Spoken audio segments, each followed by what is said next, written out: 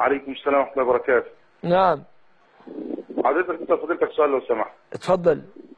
والله حضرتك بالنسبة لزكاة الفطر آه يعني في ناس خرجتها في رمضان معلش في نص رمضان أو لحد آخر رمضان. يا مسائل أنا بعض العلماء وبنشيخ زي ما قالوا لنا يعني وأجازوا القيمة.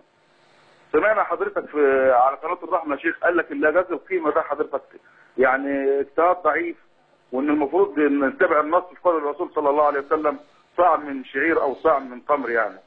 فرأي حضرتك إيه في القضية دي يعني؟ ليس لي رأي ليس لي رأي. مع كلام الرسول محمد صلى الله عليه وسلم.